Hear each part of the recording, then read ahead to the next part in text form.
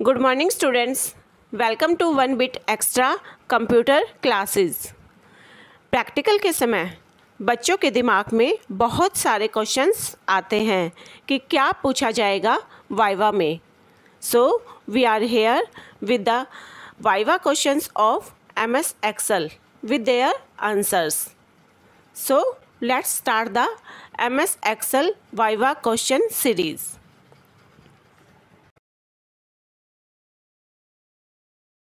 The first question is what is MS Excel? Answer is MS Excel is part of MS Office software. It is a spreadsheet used for basic and complex operations, data analysis, calculations and functions. MS Excel MS Office का एक part होती है ये एक spreadsheet package है इसको use किया जाता है बेसिक और कॉम्प्लेक्स ऑपरेशंस के लिए डेटा एनालिसिस के लिए, मैथमेटिकल कैलकुलेशंस के लिए और वेरियस फ़ंक्शंस के लिए। Next question what does workbook consist of answer is worksheets workbook क्या होता है? This is an Excel document that is a basic Excel file which is saved with dot X L S X extension workbook is the collection of multiple worksheets, where worksheet is like an individual page of workbook. Worksheet workbook के एक individual page की तरह होती है। It have grid of cells where cells are created by intersection of rows and columns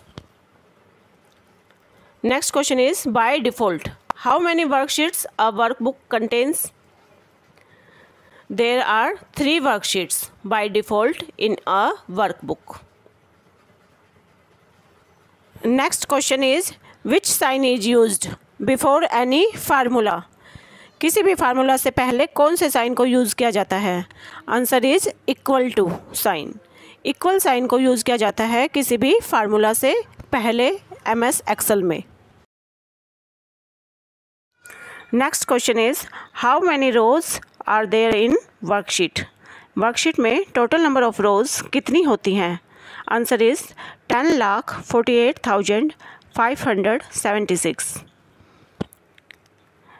Next question is how many columns are there in worksheet? Worksheet में total number of columns कितने होते हैं?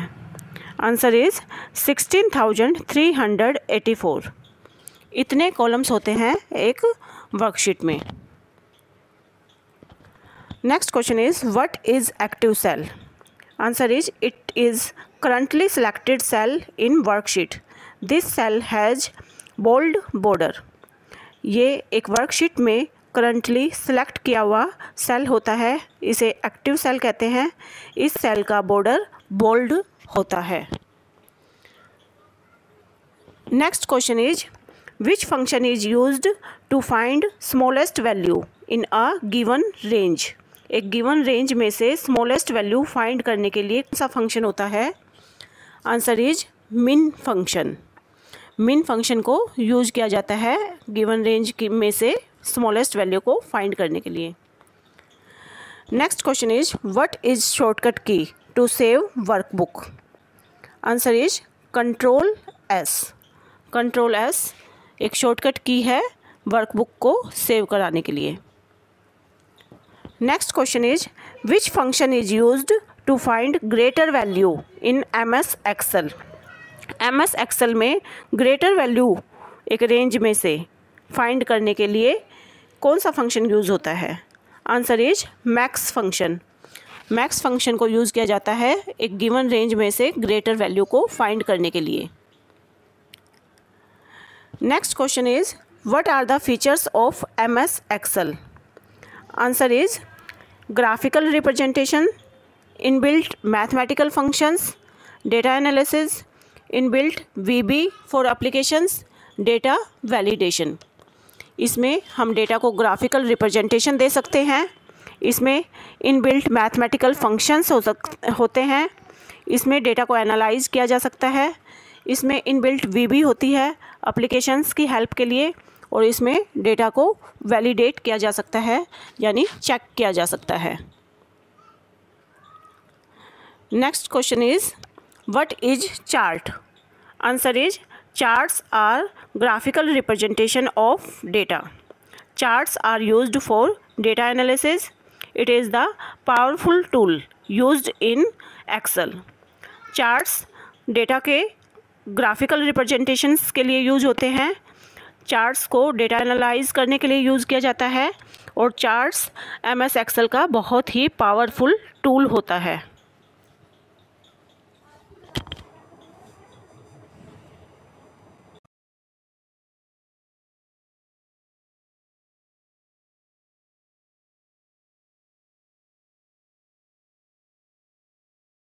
next question is name five different types of chart use in MS Excel. Excel Answer is column chart, bar chart, line chart, pie chart and area chart. These are the different types of chart used in MS Excel.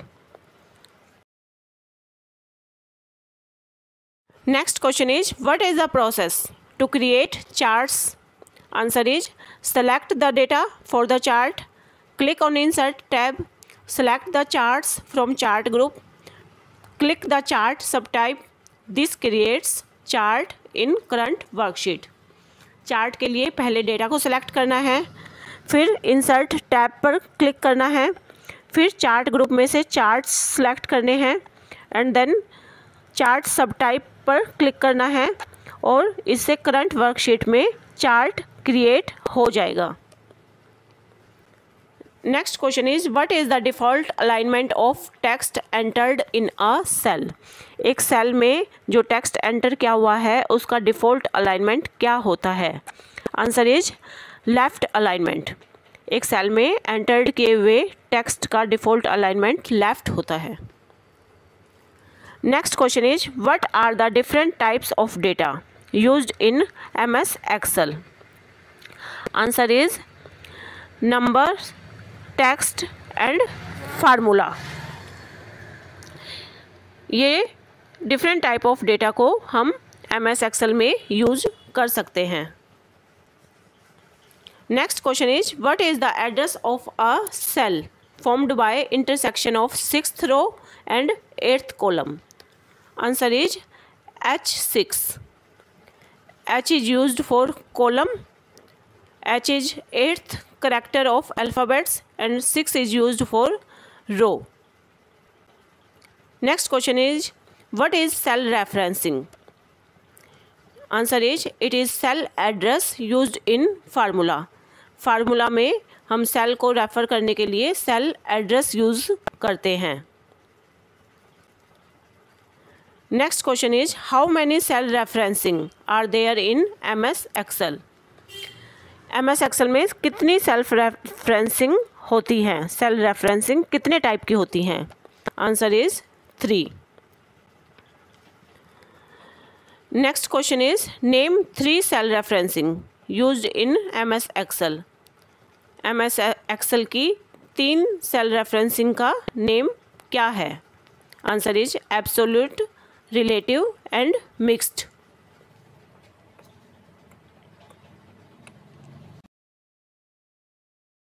okay students अगर किसी question के answer में आपको doubt है या आपको ज़्यादा explanation चाहिए then write down in the comment section we will reply you and if you want the viva series of another papers also then write me and students share this video to all with in time so that every student can take benefit from it okay Thank you. Bye-bye.